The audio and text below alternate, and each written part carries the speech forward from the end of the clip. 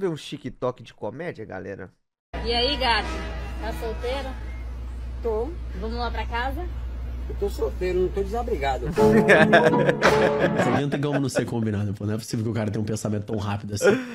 E aí, galera, aqui ó, comprei fiado com os caras aqui, os caras estão metendo a cara, se amarraram, o vídeo no TikTok bateu mais de um milhão de visualizações, eles estão emocionados. Isso aí. Divulga no TikTok. Quero kiwi. Não, não, tranquilo, valeu. É, pai. Oi. De graça? Não esqueceu de pagar, foi? É, eu faço, vou fazer o pagamento em janeiro. Aí em janeiro eu pago. Mas por quê? Mas espera só, vai tomar coxinha de mim, é? Deixa o celular comigo. Oxe, eu vou deixar o celular com o senhor, E eu vou, levar, vou deixar minha laranja com tu? mas eu vou pagar em janeiro. Eu devolvo teu celular em janeiro. Tu quer levar meu celular, E tu quer levar minha laranja? mas eu vou pagar a laranja. E eu devolvo seu celular em janeiro. Não, eu vou ficar até janeiro sem celular. E você ficar até janeiro sem a minha laranja? Aí fica bom só pra tu, fica pra mim. Por quê? Sai com duas conversas. Por que eu tô com você? Isso é coisa de salafrário, pô, tá no seu. Coisa de salafrário, pago o seu. Salafrário é você. Ei, rapaz. É você que chegou aqui fazendo. Depois quer começar. Rapaz. E já vi que o cara vendeu uma coisa pra janeiro. pô. Não, peraí, peraí, calma, deixa, deixa eu pagar. Deixa eu contar quantos irmãos tem aqui. Solta a minha laranja. Eita, meu dinheiro tá aqui, eu nem via. Podia pegar e levar em janeiro. Eu vou pegar só onde então, pra devolver. Já que o gordão da XJ supostamente não quer mudar de vida, não quer emagrecer, o Mal Mal Zica representou, tá começando o projetinho com o Renato Cariani. E antes Cê é louco. E agora? Tá com medo de pegar o City na final? Quem tem esse medo de Fluminense?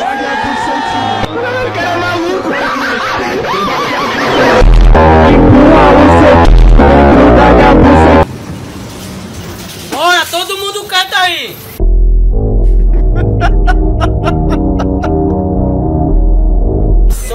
selfie aqui, pessoal. É só uma forma de chamar sua atenção.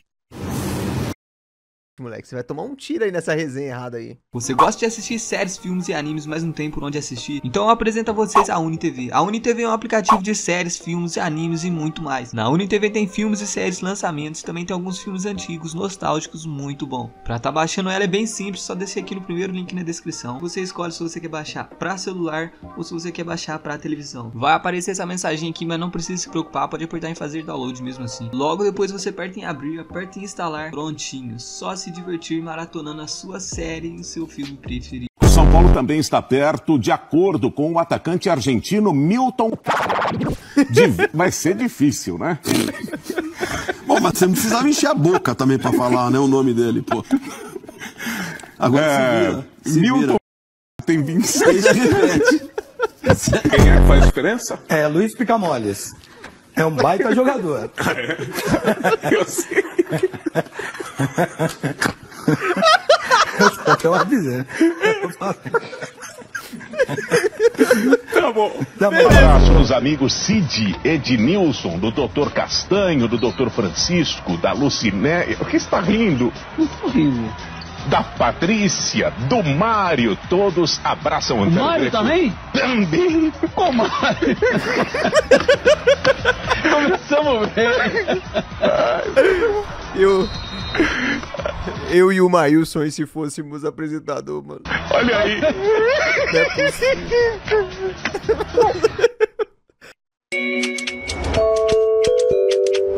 Ninguém ignora a alucinação, cada um com a sua doença mental. As vozes me falam o que quiser. Eu nem sequer tenho mulher, sai da minha cabeça, larga meu pé, eu já aumentei tanto remédio que perdi a fé. A gente, quem? Nem sequer. Gente, que é. Gente, desculpa. É, vocês sabem se eu estou muito longe da curva do S? Não, meu amor, tá bem na frente. Ah, aí. desculpa, vocês não falam português? Sorry.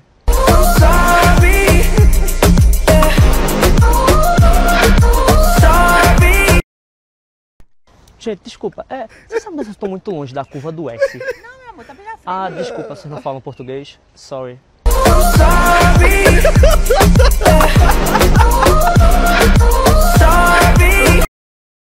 O moleque do. O que, que aquela velha tá fazendo ali, mano? No fundo. Gente, desculpa. Ah, ela tá se exercitando. Esse banheiro é dos homens? Boa noite. Das mulheres é? Moço. Não sei, acho que não. É, é tanto faz? É o banheiro das mulheres aqui? Acho que não. Sério? Olha na porta ali. Ai, que- não, porque eu vim com a cabeça baixa mexendo no celular. Tem problema. Mas eu vou urinar bem ligeirinho. Você não, você não sai agora, não? Eu vou só urinar, você não sai, não? Moço. Moço. Posso urinar aqui? Ah, vai pro banheiro do senhor, mano. Não, mas eu tô apertada. Você não tem ninguém, não? Por favor. Vou só urinar, tá bom? Ai, meu Deus do céu. Curte as férias. Faz uma pergunta aí pro Azar. Muito feliz, muito feliz. Em, em português? Pode ser. Você está muito feliz com o título? Muito feliz com o título? Título. Título? Yes. Muito Com feliz. troféu. Muito feliz com o troféu? Muito feliz com o troféu. Não, eu se eu perder 50 quilos, eu já sou ma- eu já tô quase magro já. Exatamente. Não, não, Você tá de com boa. quanto? Pesou quanto? 160. 160? Não, não, e ele tem 1,89m. Não, você é grandão, cara. Eu É, pensei olha, que você é mais alto que baixo, você, Júlio. velho. É, eu sou mais alto. Ó, Ele é mais alto moleque, que o velho. Você tá louco. não, não, você com 50 quilos a menos, esquece, já tá galã. Tô galã. Tá galã. E ele vai crescer mais ainda. Se você Moleque. a perna dele. Júlio, ele tem uma... Ó, Ó, agilidade, tio. ágil, caralho. É, eu tô eu tô preciso agora. Ó, Kung Fu Panda, mano. Só porque ele é gordo, mano. Kung Fu Panda é f... Tá em treinar, cara? Não.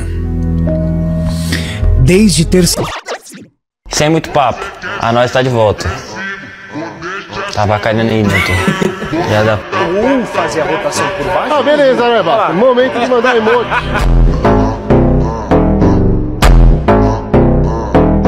Meus meninos é bravo, não tem jeito. David Jones falando na língua dos anjos. Cara, o que é pro catálogo não para mim você, ué, não. O que ele tentou falar ali, mano? David Jones. Você pode abaixar as mãos, Jazz. Nem pensar. O cara tá armado, daqui a pouco ele dá seis tiros de advertência pelas minhas costas. Ela é demais! Ela é sexy! Isso daí é, é machismo. Ela é. É a sua irmãzinha, meu primo! Boa noite!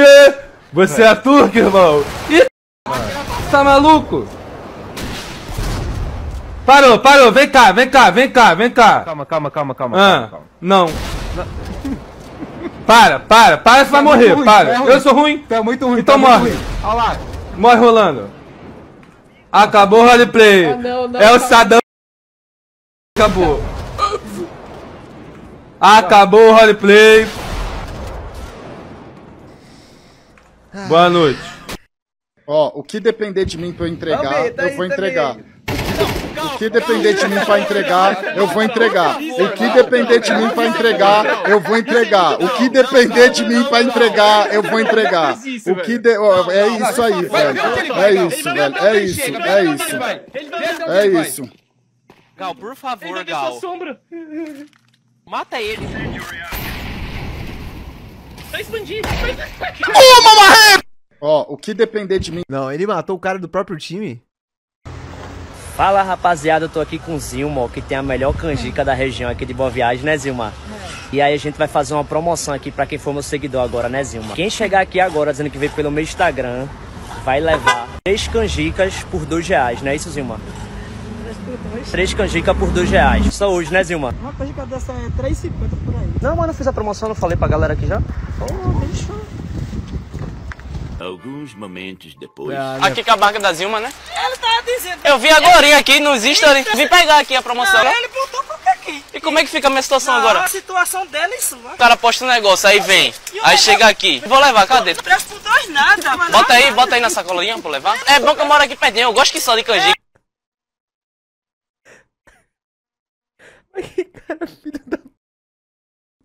E se você fizer amor sozinho todos os dias? Ué, amor sozinho? Como assim? Se é que me entende o que eu quero dizer quando eu digo amor sozinho, Não. o que vai acontecer? Vamos.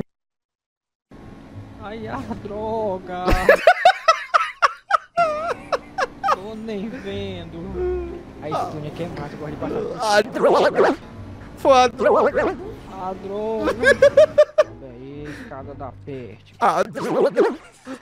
A. Apanha ele ali atrás sozinho.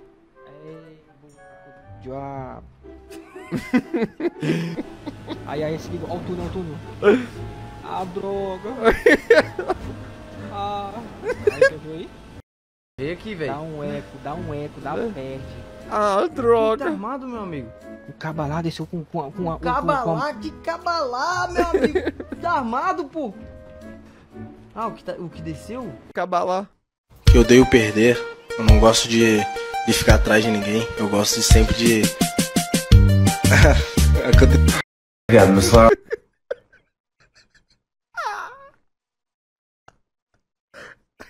Cara, o Hendrick não dá, cara. Ele é muito novo ainda, tá ligado? Ele tem aquele espírito da quinta série ainda dentro dele, tá ligado? Ele já saiu da escola, eu tenho certeza que ele termina uma entrevista, ele vai pra escola, os moleques zoam ele, tá ligado? Deu certo a parada lá, véi? Onde é? Tá lembrando de mim, não é? Não, Sou o farmacêutico, pô, que te vendeu a pílula no dia seguinte. não, não tô lembrando não. Foi não, aí, deu certo não, lá foi, parada? Foi, foi, não. Foi, pô, chegou lá desesperado, sei o que, falando que, que não tinha usado camisinha, não sei o que. Ó, deu certo. Foi não, rapaz, tá enganado. Não. Poxa, eita. Eita, foi mal, desculpa. Deu certo a parada lá, véi? Esse cara vai. Ele vai acabar com o casamento de alguém, mano. Português é muito difícil, cara. Me dá um desconto. Eu lembro, eu tava na França, eu sabia que eu ia me mudar pro Brasil. Eu Falei, vou aprender português. Peguei os verbos de você. Ir. Eu vou, você vai, ele vai, ela vai, nós vamos, vocês vão, eles vão, elas vão. Olha o grau de complexidade desse verbo. Demorei três semanas para aprender, ensaiando, frente ao espelho, dia e noite. Eu vou, você vai, ele vai, nós vamos, vocês vão, eles vão. Consegui decorar, cheguei no Brasil, primeiro dia, meu vizinho falou para mim assim, e aí, nós vai comer aonde, fi?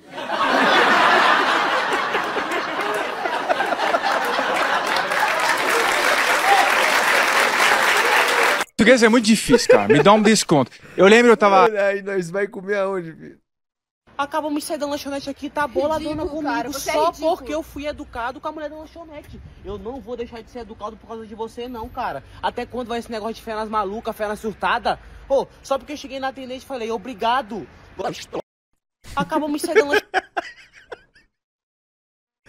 Você é louco, por muito menos eu, eu já quase dormi no porão.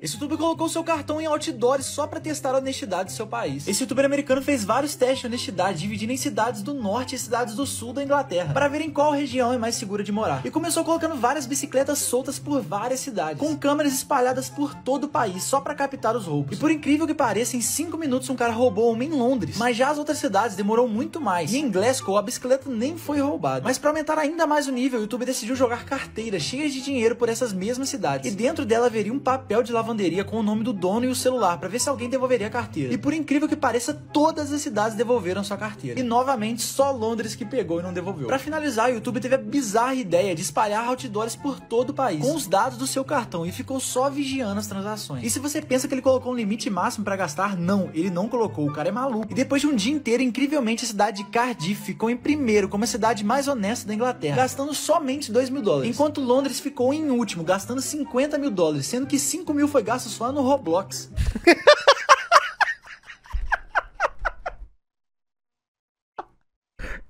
Olha eu aí, ó.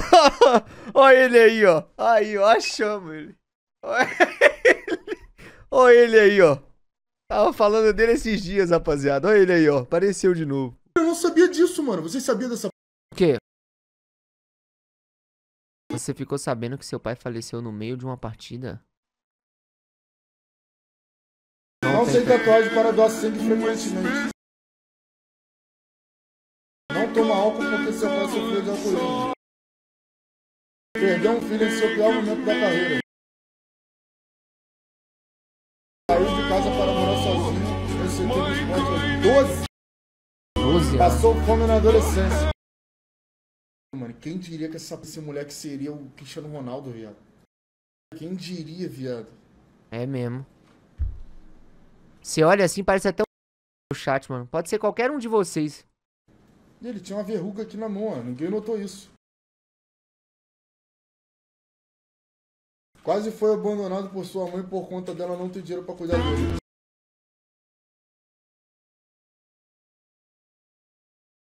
Teve uma doença no coração aos 15 anos de idade que poderia ter tirado ele do futebol.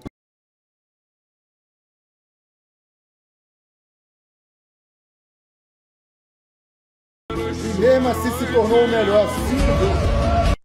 Simplesmente o melhor jogador de futebol da história.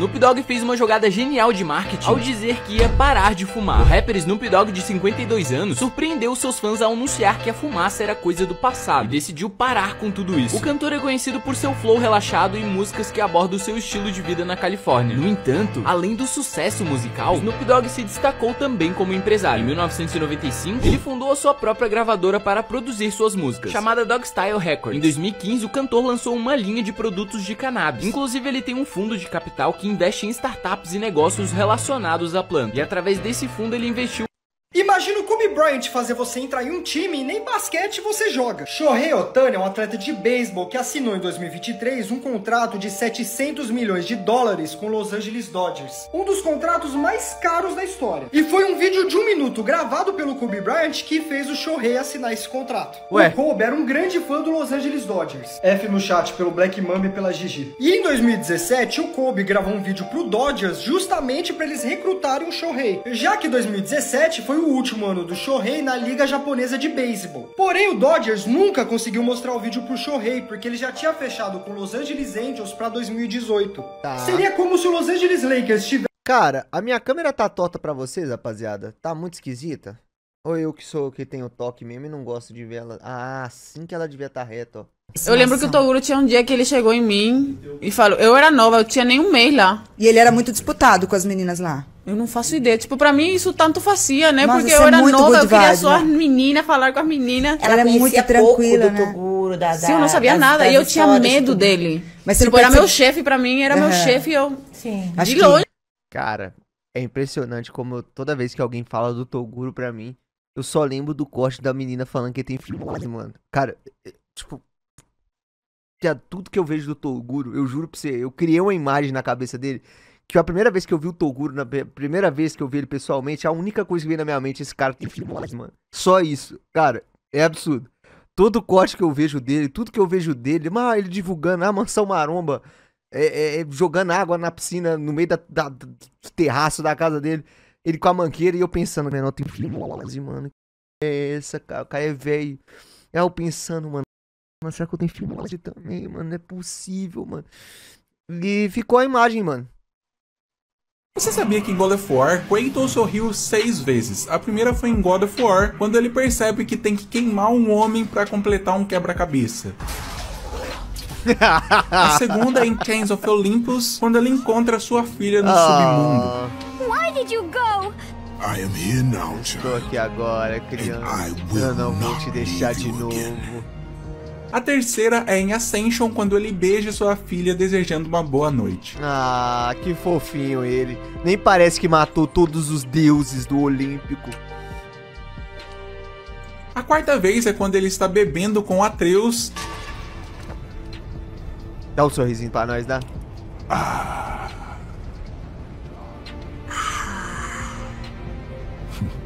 As duas últimas são em God of War Não, não é possível, não. Achei que ele ia dar uma risadinha, ele deu um. tá de sacanagem. Ragnarok, uma é no início do jogo.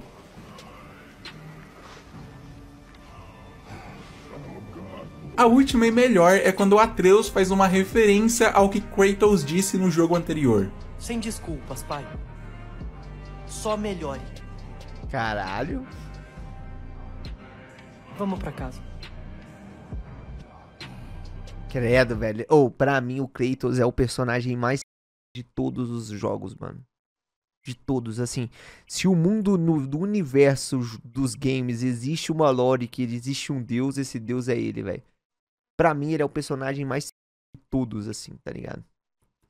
Atrás dele só o CJ do GTA San Andreas. Por que o dono dessa casa odeia tanto o filme do Velozes e Furiosos? Sim, a casa que aparece no filme tem um dono na vida real e que não gosta nem um pouco de carros. Isso porque depois do filme, esse lugar virou como se fosse um ponto de encontro para as pessoas que gostavam de Velozes e Furiosos. O sonho da galera era conhecer esse lugar e tirar uma foto dos seus carros em frente. O problema é que esses encontros começaram a virar bagunça com muitos aceleros. E perturbação na frente da casa. Além de que as pessoas sem noção até entravam dentro do quintal da casa. Por pura curiosidade de ver como é que era. Mas mesmo assim, ainda é invasão de propriedade. O que fez com que o dono colocasse placas mandando as as pessoas embora. Chegou até a virar um protesto de moradores da região para manter as pessoas fora dali. E tudo isso tem um culpado. Como essa casa aparece praticamente em todos os filmes do Velozes e Furiosos, ela virou um ícone. E o dono dela já sabia disso, porque com certeza ele estava ganhando uma boa grana para ceder sua casa para fazer filmagem. Isso já tá acontecendo há anos. Ou seja, ele tem muita grana no bolso para vender essa casa e sumir dali. Além de várias propostas que ele já deve ter recebido nessa casa. O que dá a entender que mesmo não gostando, ele deve estar sendo muito bem pago para isso. Isso é um grande motivo para ele preferir não se mudar dali e ficar por ali mesmo. O problema Ah, mano, mas aí, sei lá, mano.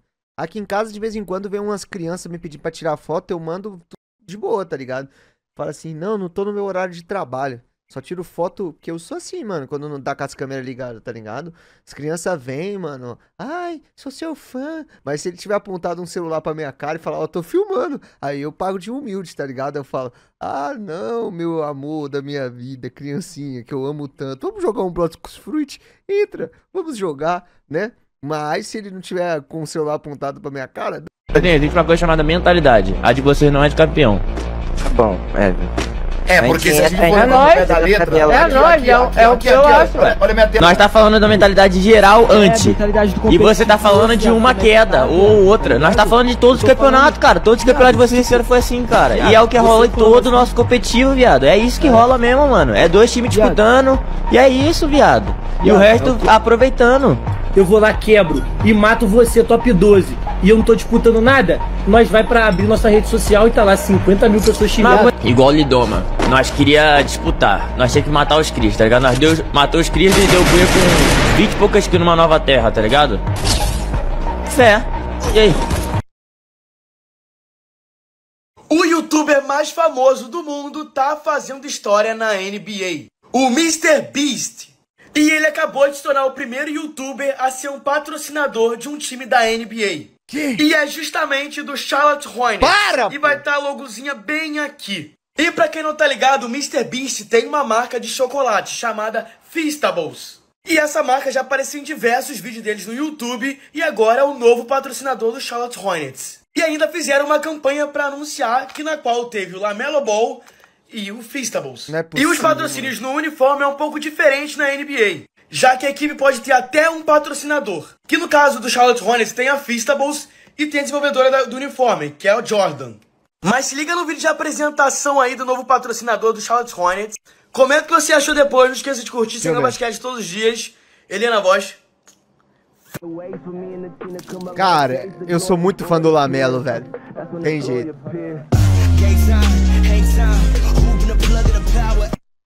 Ele deixou de ganhar uma Champions. Acho que era até eu que estava narrando o jogo. Ele deixou de, de ganhar, não me, não me lembro direito. deixou de ganhar uma Champions tá, numa final espanhola do Atlético de Madrid com o Real Madrid. Se eu tiver errado, você me corrija, por favor. Vocês ganhavam de 1 a 0. Eu, pra mim era depois dos 45, mas ou foi no limite dos 45. Do segundo tempo, o título era do Atlético de Madrid. O Sérgio Ramos faz um gol de cabeça. Vai pra prorrogação e na prorrogação vocês se entregaram. O Cristiano Ronaldo resolveu acabar com o jogo e o Real Madrid foi campeão e você não ganhou a orelhuda. Eu vou te corrigir só uma coisa. O Cristiano Ronaldo não fez nada no jogo. Ah, não fez nada, nada. nada. Só fez um gol de Só pênalti. fez um gol, né? Gol de pênalti, o 4x1 no final. Foi Mas- mais provocação. Foi, foi, foi. Não, foi, foi. provocação com você, sabe por quê? O que, que aconteceu na prorrogação, cara? Vocês- fizeram o jogo, vocês mandaram no jogo. Antes do empate, vocês quase fizeram 2 a 0 E depois da prorrogação. Ele deixou de ganhar uma Champions. Cristiano Ronaldo não fez nada no jogo. Ai, cara, eu assisti esse jogo e eu vou falar pra vocês, mano. Ele tem razão. Nesse jogo o Cris não fez muita coisa, não, rapaziada. Nesse jogo ele tem razão, mano. Eu assisti esse jogo, eu lembro. Mano, o torcedor do Fluminense tem que acreditar, porque a preguiça que os caras do Manchester City tá encarando esse Mundial não tá escrito. Meu pai do céu, mano. Mano, na boa, velho. Dá pra ver na cara dos caras que ninguém queria tá ali. Meu pai do céu, eles têm uma visão assim do Mundial que é só o sul-americano que valoriza mesmo. Já começa que os caras cortaram, mesmo treinando, o Haaland, o Jeremy Doku e o De Bruyne. Porque mesmo treinando, os caras não querem arriscar essa competição aí de tiro curto. Pô, vamos falar aqui sem clubismo, vai? O Jack Grealish hoje, pelo amor de Deus, pai. Ele é um ponta comunsíssimo como qualquer um aqui do Brasil. Pô, Cara, é o seguinte, rapaziada, vou falar pra vocês a sinceridade. Eu, o... Infelizmente, os caras lá mesmo do Manchester City nem ligam pra essa competição, tá ligado? Não tô falando na resenha, não, mano.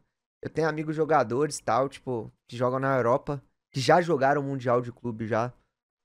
E. Nenhuma, rapaz. Tá vendo? É fácil enganar vocês, pô.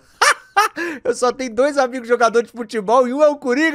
Tá de sacanagem, meu mano. Tá pensando que eu sou o Casimiro, meu mano? Vai tomar pra dentro, rapaz. Tô zoando, Mas eu tenho uns dois. Tem uns três. Tem uns três. O Hendrick também, né? Mas não, a impressão que eu tenho olhando de fora, mano, é que, tipo assim. É. Mano, não, falei zoando. Eu tenho amigo jogador sim. Tem o Luiz Araújo. Não, não, tem, tem, tem bastante gente. Tem bastante gente. Foi mal, amigos, é só resenha de live. Mas é. O cara do Flamengo tem. Nossa, tem. Me compliquei com meus amigos jogador. Mas é resenha, resenha, resenha. Mas se liga, eu tenho a impressão que os caras nem ligam pra esse Mundial, velho. Não sei se vocês têm essa impressão também. Parece que os caras, tipo, tá pra Mundial, pra não sei o quê. Bom pra torcida do Fluminense, que vai levar isso aqui fácil.